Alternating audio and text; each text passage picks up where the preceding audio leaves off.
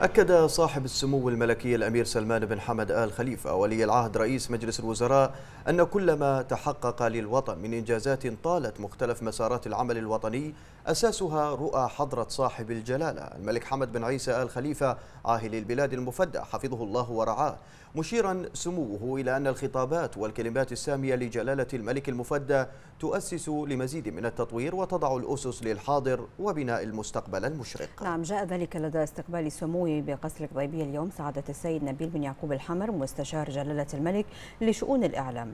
وحيث سلم سموه كتابا يوثق الخطابات السامية لجلالة الملك المفدى منذ عام 2014 إلى عام 2020 والذي أصدرته وأعدته شؤون الإعلام بالديوان الملكي بإشراف المستشار نبيل الحمر بالتعاون مع وزارة شؤون الإعلام. قد استمع صاحب السمو الملكي ولي العهد رئيس مجلس الوزراء إلى إيجاز من مستشار جلالة الملك لشؤون الإعلام عن هذا الكتاب الذي يعد الجزء الرابع من الخطابات السامية.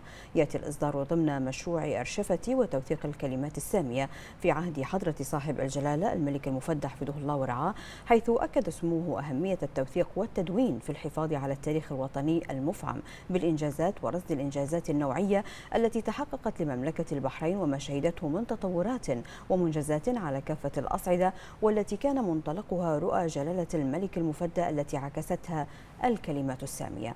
أعرب صاحب السمو الملكي ولي العهد رئيس مجلس الوزراء حفظه الله عن شكره وتقديره للجهود المبذولة في إعداد الكتاب وتوثيق الإنجازات النوعية التي تحققت في ظل المسيرة التنموية الشاملة بقيادة جلالة الملك المفدى. حفظه الله ورعاه.